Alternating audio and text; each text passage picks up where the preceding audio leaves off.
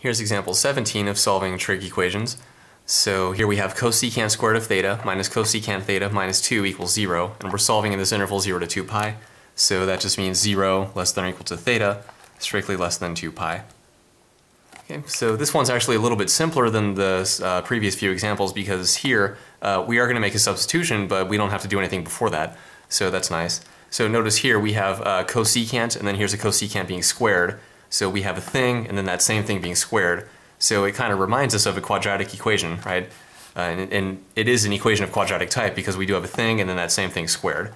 So what we're going to do is say uh, let A equal cosecant of theta,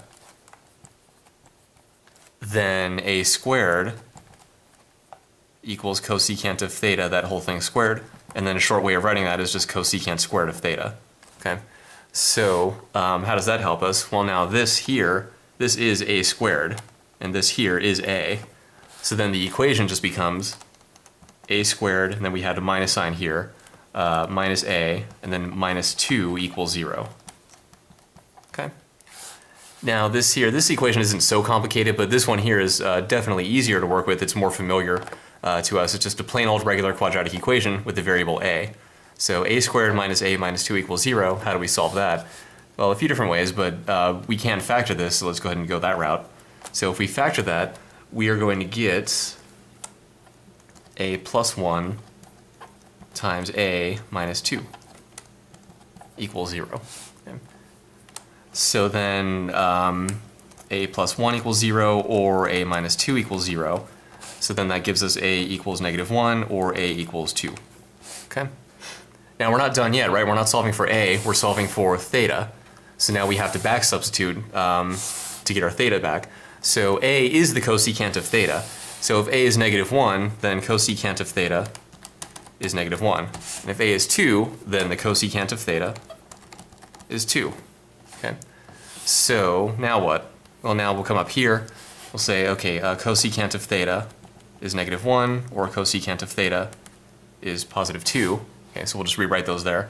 Um, now, we can think about this in terms of cosecants, but if you're not really comfortable with cosecants, uh, that's okay. They're not really um, some of the, it's not really one of the more common trig functions. We're probably more used to working with sines and cosines and tangents.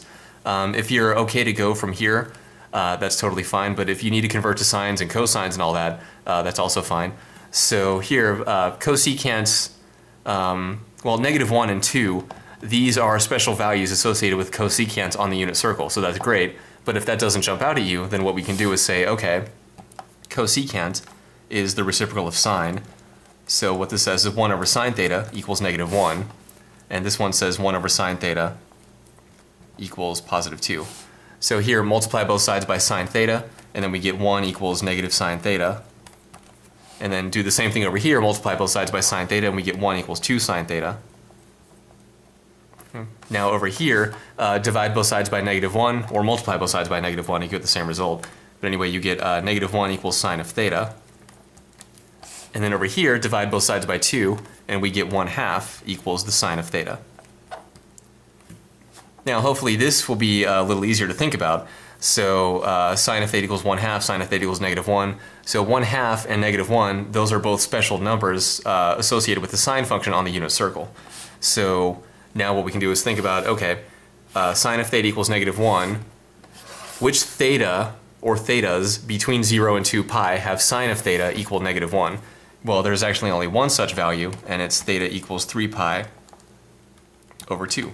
Because the sine of 3 pi over 2 is negative 1, and that's the only value of theta between 0 and 2 pi, uh, like this, that has sine of theta equal to negative 1. How about sine of theta equals 1 half? So again, just a matter of knowing the unit circle.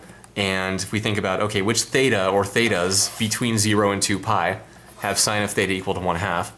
So if we think about the unit circle, then we just get theta equals pi over 6 and 5 pi over 6.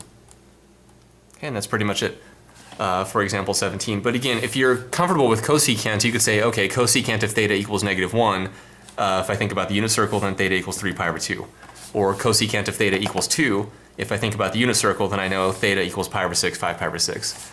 But if you're not so comfortable with cosecants, just remember, okay, cosecant is the reciprocal of sine, So cosecant of theta is 1 over sine of theta. So let me get these in terms of just sine of theta. And then we'll end up here. And then these will uh, hopefully be more familiar and easier to work with.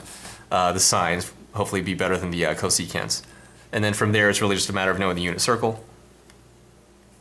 And that's it for example 17 of solving trig equations, uh, 3 pi over 2, pi over 6, and 5 pi over 6.